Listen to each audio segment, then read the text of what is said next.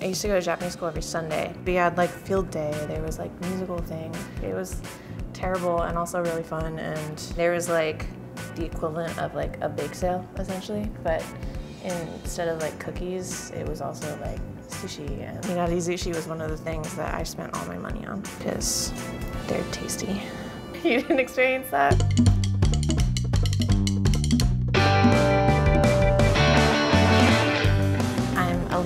Yamamoto and I'm co-chef at Karasu in Brooklyn and today we're gonna be making bento boxes. Bento boxes are basically just Japanese lunch boxes. Normally you put in foods that cold easily and are gonna taste good cold. The idea is that you're packing either the night before or in the morning and you're gonna eat it later in the day. In Japan, a complete meal is colorful, aesthetically pleasing, and hits all those different elements that you want to feel full and nourished from. Today, we're making a pretty basic bento. We're gonna do a couple different kinds of onigiri, which is rice balls, a soy cured egg, some salmon, and some quick pickles and fresh veggies. Okay, because the eggs take the longest, we'll cook those first and then we'll move right into cooking our fish. So for soy cured eggs, we want to drop it into salted boiling water. You kind of want to be gentle with it. We'll set a timer for seven and a half minutes. So we're just gonna cut some salmon, one piece of filet, and then a little bit of belly. Cut it into little pieces that are gonna fit into our little boxes. This is a great belly. So like the color is so different, you can see. The regular side of the filet is really, really red because it has less fat, but it's like super light and pink here. This is also kind of like slightly cured. I always throw salt and sugar on salmon when it's raw and let it sit for an hour, wash it off, and then I use it just because it kind of loses some of the moisture. And then we just pop these into the broiler. That's like pretty much cooked. Great, so how long was that? Like a few minutes? It doesn't take long. I mean, I want it to be like almost entirely cooked. Just cook it to like how you like it. For a bento, I like it more cooked than not. So I like a mix of fresh, pickled, and cooked vegetables in a bento. These shishitos are pretty nice, so I thought it would be fun just to like get them a little bit blistered. No oil, just straight into the pan. Great. So we'll just take these out. I'm gonna throw some shiitake in here too, just to like cook them a little bit. We're gonna chop them up and this is gonna go into the mixed rice. Great, these are done. We'll just let those cool off so we just took the eggs out and threw them in an ice bath and then we're just gonna wait to let them cool a little bit and then we'll peel them. So your basic cure for a soy cured egg is one part soy and two parts water. So three parts overall. You just pour it over and you wanna use a bowl that's gonna be big enough for them to kind of like float around because if they're all pressed up against each other you're gonna have little like white dots. They're really good after two to three days but at least 24 hours. So that's your soy cured egg. So this is the easiest pickle that you can ever make. All you need is probably 30 minutes, some fresh vegetables, salt, and sugar. It's called asazuke, which is a shallow pickle. I'm using Japanese cucumbers. I'm just gonna do little medallions. Is there a trick to like cutting round things that where they don't fly everywhere? like they're just always gonna fly somewhere. This is a Japanese eggplant. Unlike the cucumbers, it has like an incredibly high water content. You can eat this raw. It's really sweet. The skin is really thin. This is maybe my favorite summer vegetable. I wouldn't use an American big one. They're bitter. The skin is like so thick, it's just not gonna have the same thing. If you don't have access to a Japanese eggplant, just use a different vegetable. You can use cabbage, radishes. Again, this is a shallow pickle, so we're adding salt and sugar pretty much in equal parts. It's probably like three tablespoons, something like that. I'm just mixing it so that everything is coated. And look, you can already see a lot of the waters coming out of it. So now we're just gonna let this sit. For the rice, I like variety just because it's like fun. So I'm gonna do a couple of different kinds. So we have our shiitake that we cooked off earlier and hijiki seaweed. You can just buy this dried. We're gonna cook this with a little bit of soy sauce. And then I have some cured Sansho peppercorns that I bought already cured. So we're just gonna cook the hijiki. It's just straight dried hijiki. You can get this at an Asian food store. I have just some water.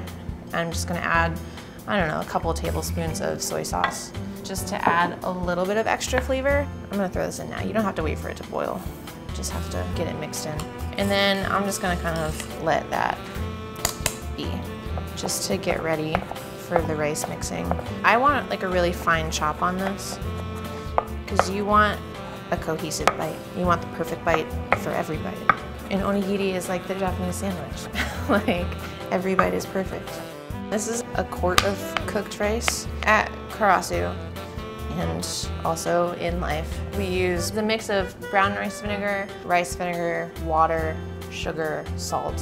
And this is just like a pantry item. And then you always have it for seasoned rice. That was what, like a tablespoon for a quart of cooked rice. So when you're adding any vinegar, it's going to sink to the bottom. So you wanna make sure you're turning it.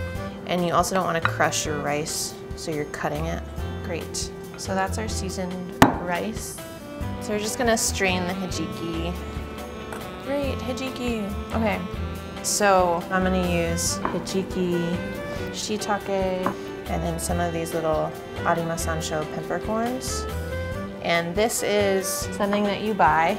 The sansho peppercorn is like the Japanese version of a Sichuan peppercorn. And this, you can use whatever you want. You can throw some carrot in here for color. This just sounds like earthy and tasty to me, so that's why I'm doing it. this is something that my grandmother taught me, and I'm sure every Japanese grandmother teaches everyone. you wanna add extra salt. So I just put water on my hands, a little bit of salt on my fingers, just like whatever sticks to your like pointer finger essentially is all you need. And then you grab a handful of rice. And it's gonna be a little bit hard to do this because there's stuff in the rice. You need to think about your hand as being like three planes, right? So it's like flat here, flat on the bottom, and flat on your palm. So that's like you're making three sides with this, and then your other hand is making the other two sides. So you're like coming in, squishing, and making a triangle, and turning, so you get kind of like an even shape. And look, things are flying everywhere, and it's beautiful. Great, so I got six out of that. So for the inari, inari zushi is what this is called when it's formed into a rice, but this is aburage. It's fried tofu, and when it's fried, it gets this kind of pocket in the middle. You pull it apart very gently, just a little bit of water on your hands again so it doesn't super stick to you. And I'm just taking like a little handful of rice, and then we're just gonna take this and tuck it inside. And then you just fold it over and that's it. So this shallow pickle is ready. It's been sitting for 30 minutes. I'm just squeezing out some of the extra water. Like look at all of that that's coming out. So now we're just assembling. Oh, I almost forgot about the salmon. There's so many things here. These are bento boxes. They come in all manner of shapes and sizes. You're just making like a, a, cute little thing. Put some of the pickles in here. It's like an art project. Like I said before, I think color is key to making a bento pretty. And then our egg.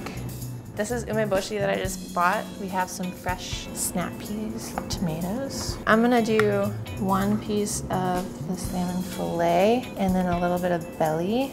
And then we just have some cute little flowers to add. That's it. That's all my things.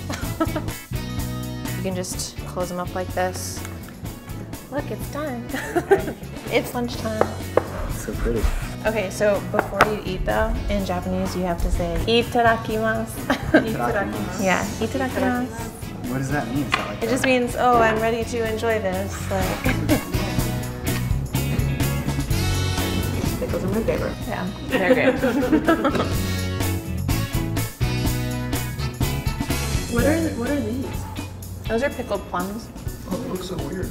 So, well, yeah, they've been like lactose fermented.